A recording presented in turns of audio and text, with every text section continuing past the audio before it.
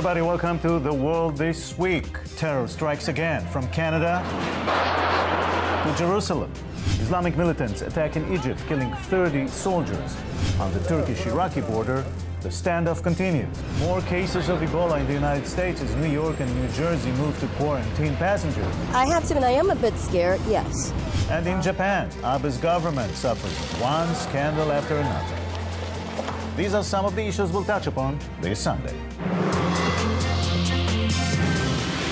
Our panelists, Barbara Opall-Rome, Defense News Bureau Chief in Israel, and Danny Ayalon, former Israeli ambassador to Washington and Deputy Foreign Minister, former. Hello, Danny. Hi, Jay. Uh, Canada, Jerusalem, uh, Egypt, ISIS. Is this all the same war? Yes and no. Yes, in the fact that the ideology is, I would say, the, the, the motivating force everywhere. You see it uh, in Canada and other places, even London Tube and others. It was well to do Islamists, second generation. So it cannot be deprivation. Here also, it is coming out of uh, ideological and uh, very extreme Hamas ideology, but of course you have to have other things. Here it's the national conflict with the Palestinians. Over there, it could be part of the global jihad. So I would say, by and large, it's the same, the same current, but there are different uh, versions of it. Different excuses, different places, same war? And in order to address, seriously address with some kind of a plan, the different uh, minutia of these different uh, ideologies, although they are broadly the same in terms of fanatic extremism, we really, or we at least our leaders, need to be very acutely aware of the fine differences in order to um, uh, effectively counter them, whether it's by military action in Iraq and Syria uh, or the, the economic um, boycott and seizure of their funds. Mm. Speaking of leaders, you have the Israeli uh, defense minister visiting Washington these days uh, he wasn't able to, to uh, even get meetings with decision makers there? So what? So what? You're not. You know, it's it, people in Israel. They're got making excited such over this. a scandalous um, uh, hay out of this whole thing the defense minister of Israel visited Washington. He was received by his counterpart, Chuck Hagel, at the Pentagon in an honor guard ceremony. He met with Ban Ki moon in, Ban Ki-moon in New York, as well as Samantha Power, the U.S. Um, ambassador to the United Nations. He met with opinion leaders. He uh, he was busy. And whoever says that as, a birthright, a visiting Israeli defense minister must meet with cabinet heads. But it Jacob, seems that in Washington they leaked the fact that he was not getting these meetings. Uh, we don't know that. I mean, that's an, another Israeli spin, and they're all against. But uh, you know, it's interesting. Only Ehud Barak, really, and he was a defense minister for quite a long time. But he did institutionalize this practice of when he goes to town, the, his defense counterpart is a minor um, uh, agenda item on his whole trip, and he was uh, he was received by the president and the vice president, and secretary of state. But that's because they viewed Ehud Barak as a sort of a, a cutout or a, uh, a way to get around around Bibi Netanyahu, who they do not trust. And by the way, Hillary Clinton wrote this as, as, such in her in her book. They viewed Ehud as uh, as being a an influence that they should try to maximize on the issue primarily of the peace process. Danny, you've been um, an ambassador to Washington. You know the game. Yes, and here I must take a different view than my good friend uh, Barbara. It's, it's okay. That's why you're here for. Uh, Mofaz, when he was uh, defense minister, saw everyone, including uh, at that time uh, Cheney as, as vice president and others. The fact that he did not even see the national security advisor, Susan Rice, to talk about issues which are of the utmost importance to the two countries, whether it's uh, ISIL, whether it's uh, Iran and the Palestinians. This is really a slap on the face. And uh, there is something which is very bad going on between Israel and the United States, not on the institutional um, level, but at the top level. And the top level is the window through which everybody around us examine our relations with the United States. And our relationship with the United States is a, uh, a cornerstone also of our geopolitical strength, of our deterrence capabilities. And if our enemies and even friends see a more than daylight between Washington and Jerusalem, they pounce in. And it could be Europeans' initiatives, which are very bad for us in the Security Council, and it would be more attacks on the ground here in the, in the Middle East. So this is why it is imperative for Netanyahu to leave everything and just rebuild trust and confidence between him and Obama that would trickle down to the entire system. Maybe as a little revenge, uh, Israeli defense minister said in an interview to the Washington Post that, um, I don't know how he put it exactly, the Western leadership or whatever uh, is, is way wrong on the Middle East. Uh, Jacob, he was totally right but you have to be also smart he, about it. it. Don't say it in a leak to the press or in some kind of briefing against the Americans. And Talk do to not them. attack uh, the Secretary of State and call him messianic and talk uh, to them obsessed. one on one. Talk to them on background. You know, we have enough dialogues with the Americans to do that. There you can really shout at each other, but come together with the, the same strategy, which is important to both of us. Yeah. So there was a lot of mishandling here both in Washington but also here but in Jerusalem. Both of you said that he was right. So basically, Barbara, he's right when he says that the Western leadership, or maybe the United States, does not, does not understand the Middle East. Listen, there is a lot of validity. Uh, uh, despite his manner and his uh, uh, impolitic way of expressing his, himself, uh, the defense minister is an astute strategic analyst. Let's not forget that he spent uh, a time as um, head of military intelligence here and as chief of staff. He does have a very sharp analytical assessment of things. But as Danny said, this is this is what the back rooms are for, and this is what a close partnership is supposed to be to air um, privately and, and, and not go on ad hominem attacks on the U.S. Secretary of State and the U.S. President. Uh, so, it, it, it, in a way, it. I agree with Danny in that he should have seen Susan Rice, but uh, no one, uh, no Israeli defense minister needs to see other cabinet officers. No, but no, right. But, this, but Susan Rice, that was a real, yes. real slap on the face, and this was more than a signal, unfortunately.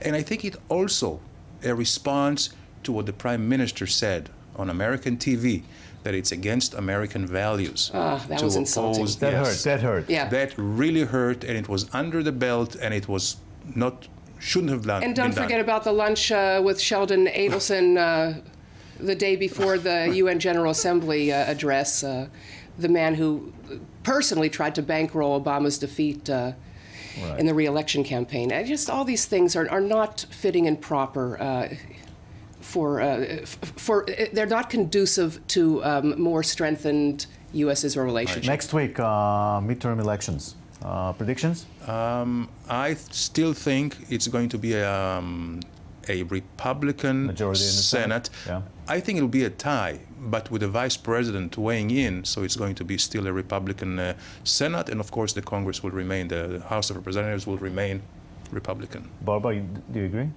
I, I, I, don't really have enough of an assessment on the outcome of, of the vote, but I, I do I have heard in Washington that more gridlock is expected.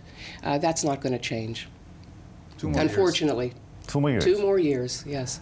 Barbara and Danny, thank you very much for coming. Thank you. Let's talk to our friend Paula Slier, Russia Today's Middle East bureau chief. She spent the past days covering the crisis on the Turkish-Syrian border. Hi, Paula. Thank you for joining us from Turkey. Hello, Jacob. First of all, please give us your uh, impression uh, from the ground. Well, as you can see, the battle for Kobani is continuing behind me, and that is another American airstrike. In the last half an hour, they've been happening almost every few minutes. From what we understand, the ISIS fighters are in control of around 20% of the town. Most of the fighting at this stage is focused in the east of Kobani. And according to the Syrian Kurdish fighters I've been talking to, these airstrikes are helping immensely. They say that they're managing, with the assistance of the strikes, to push the, the ISIS fighters further back. Now, we can hear more planes coming, so what we are expecting is that in the next few moments there will be further airstrikes now, uh, the Turks are reluctant to, to get involved and help the Kurds. Uh, how does it look from there? Well, this certainly is the sense that I'm getting talking to Syrian Kurdish fighters who are inside Turkey. Now, the reason is that they've come across the border because they're injured and they want to get medical treatment. But they tell me that if they're picked up by the Turkish army, they will be arrested. And so they're smuggling themselves out, pretending to be civilians. And now they're trying to get back into Kuba They say that they have evidence that the Turkish army is assisting ISIS. And one of the flashpoints at the moment, of course, is what is going to happen with the permission that Ankara has given to the Peshmerga, who are your Iraqi Kurds.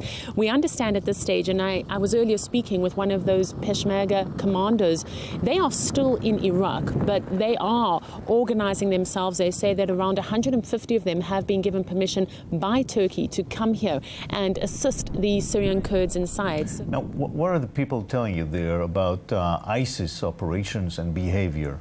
Well, here in Turkey, you have around 220,000 Kobani refugees who have fled across the border. You have something like 1.8 million Syrian refugees who are currently inside Turkey. And as you drive around, you just see refugee camp after refugee camp. Talking to those refugees, they are concerned that ISIS is making advances. The ISIS fighters might be being pushed back from Kobani, but certainly Kobani is important because if ISIS is able to gain control over over Kobani, they will have control over a stretch of land all the way from Aleppo. As one refugee put it to me, if Kobani falls, well, then the whole world falls. One of the other stories we are investigating is whether or not ISIS have access to chemical weapons. There have been reports that at this stage are still unconfirmed that there was at least one chemical attack on people inside Kobani. Now, I was speaking with a doctor on the inside. He says that they don't have any proof of this at, at, this stage. But the United States, for example, is investigating reports that ISIS in Iraq used chemical weapons against the Iraqi military. Here on the border, there are a number of Kobani refugees who each day come and literally sit on the border and watch what is happening. And earlier, people were coming up to us and asking if they could look through our camera, if they could use our zoom lens to be able to see if their homes are still standing. Certainly, the feeling on the ground is that ISIS is still very, very strong, getting a lot of support, and that this is a battle that could continue for months, if not years. Paul Slier, Russia Today's Middle East uh, Bureau Chief uh, from the Turkish Syrian border. Thank, Thank you very you. much. Leon Klinghoffer was a wheelchair bound American Jew who was murdered by Palestinian terrorists aboard the cruise ship Achille Lauro in 1985. A disabled 69 year old passenger was shot at point blank and was thrown overboard. And now, when the Metropolitan Opera of New York decided to stage the controversial opera about it, the objection was loud and strong. And we say hello to Mrs. Nina Weiner, a longtime supporter of the Met, who strongly opposes this opera. Thank you for joining us from New York. Thank you. Now, tell me first of all, what's so wrong with this opera?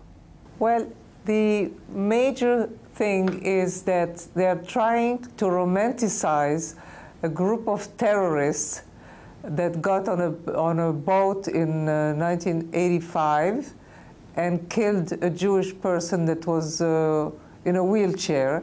They're trying to uh, make an equivalency between terrorists and their victims. Uh, what's also very disturbing is that uh, from the beginning, a group of us felt that it was quite anti-Semitic.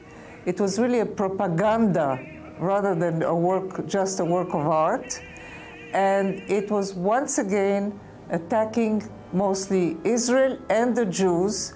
The first thing I asked when I wrote a letter to Peter Gelb in June, would they dare today to show an opera where you show uh, Daesh or ISIS um, uh, and the way they behead Europeans and Americans and to try and understand the mentality of the people of uh, ISIS.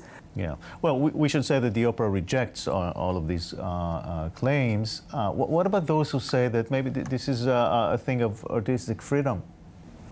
No, I think that it's very different everybody is for artistic freedom, and uh, it's, uh, the, it's, it's an excuse. It's not acceptable. Uh, does it give this opera maybe um, more attention that it really deserves? Well, I was afraid of that, but I think that yesterday, particularly, the fact that it's getting some media attention the fact that uh, Giuliani spoke very, very well, and many people spoke very well, uh, I think we shouldn't be silent uh, in New York especially in the turbulent times that we live in. Uh, you took the whole thing very personal uh, because you, you love opera and you've been supporting the, the Met uh, financially. Yes, absolutely. We have been going to the opera for 40 years, um, and I'm happy to realize I'm not the only one. Uh, I have friends uh, that contribute a lot of money to the opera, and uh, I also decided uh, not to give any more, uh, not a dollar. I think Jews should not be silent anymore, and uh, there are too many things happening and it's just unacceptable. It's unacceptable, and we have to be heard. Nina Weiner in New York, I thank you very much. Thank you very much. Hope to see you again. And this has been The World This Week. We'll see you here next Sunday. Have a great week.